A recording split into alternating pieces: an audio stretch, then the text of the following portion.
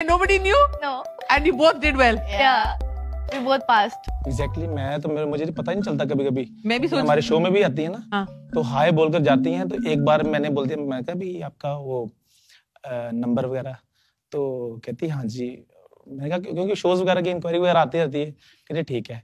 तो कहती मैं हाँ अभी देती हूँ। तो, तो बाद में दूसरे वाली आ गई। मैं कहा आपने दिया ही नहीं। कहते क्या? मैंने कहा नंबर अभी मैंने पूछा ओहो आप नंबर मांग रहे हो?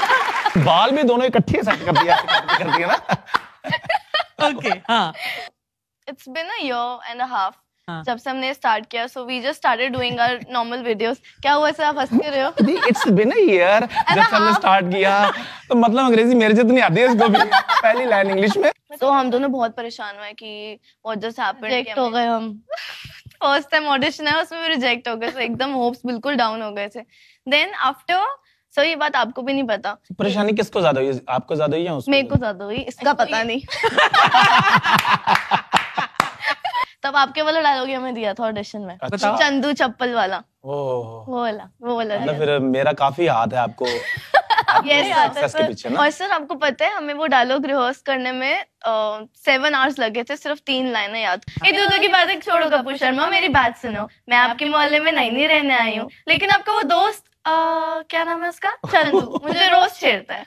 अ, तुम्हें छेड़ता है कि उसको छेड़ता है। मुझे छेड़ता है इसका पता नहीं? ये हमने बहुत नॉर्मल किया था। तो हमने ऐसे किया था बोला- बोला की बातें छोड़ो कपूर शर्मा मेरी बात सुनो मैं आपके मोहल्ले में नहीं नहीं रहने आई हूँ।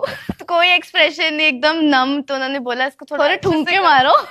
ठुमके मारो फिर हम सिलेक्ट हुए थे अच्छा गानों पे ठुमके मैंने बड़े सुने हैं हाँ। ये डायलॉग डायलॉग पे ठुमके मारे थे जब बचपन में हम लोग देखते थे शो सर आपका हम इतना इतना पसंद करते थे ना बचपन में क्या मतलब मतलब what do you mean by बचपन ये आपकी Same. आपकी Look. उम्र के तो है ये